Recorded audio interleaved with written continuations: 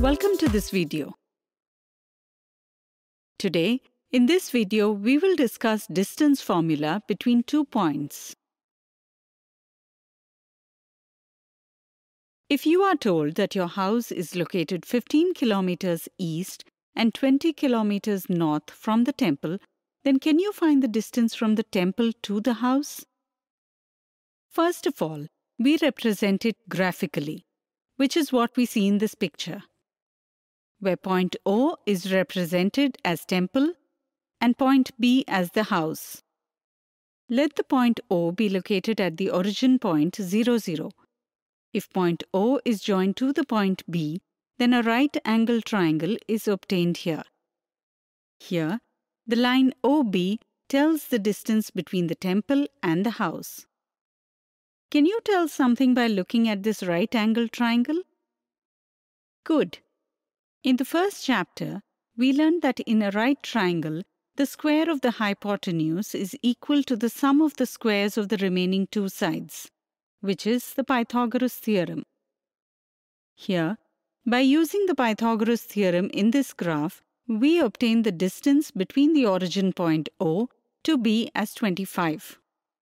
So the distance between the temple and the house will be 25 kilometers. Now if your school is located 20 kilometers east and 30 kilometers north of the house, then can you find the distance between the house and the school? Let's solve this together. As we have seen from the graph, the coordinates of the point B are 15 from the x-axis and 20 from the y-axis. Then, let's represent the coordinates of the point B, that is 15, as x1 and 20 as y1. Similarly, school has the coordinates of the point D will be obtained as 35 from the x-axis and 50 from the y-axis. Then, represent the coordinates of the point D that is 35 as x2 and 50 as y2. Since now we have to find the distance between these two points, that is point B and point D, we draw the perpendiculars BP and DQ from the points B and D respectively on the x-axis. And also, let's draw another perpendicular from the point B on DQ which intersects DQ at the point R. Can you tell the coordinates of the points P and Q? Good.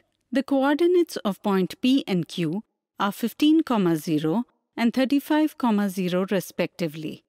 Here, OP equals x1, OQ equals x2, so PQ equals x2 minus x1, which is equal to BR.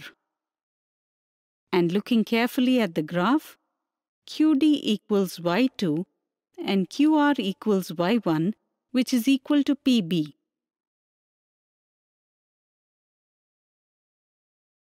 Hence, RD will be equal to Y2 minus Y1. So in triangle BRD, using the Pythagoras theorem,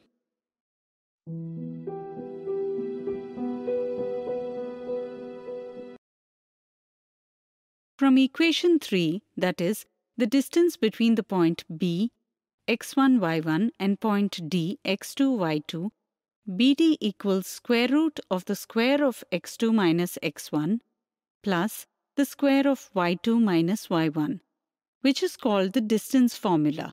Since distance is always non-negative, here we will take the positive square root. Now in equation 3, Put the values of x1, y1 and x2, y2 from which the distance between the points B and D is obtained as 10 square root 13. So, the distance between the house and the school is 10 square root 13 kilometers. Today, in this video, we studied the distance formula between two points. In the next video, we will practice some examples based on this.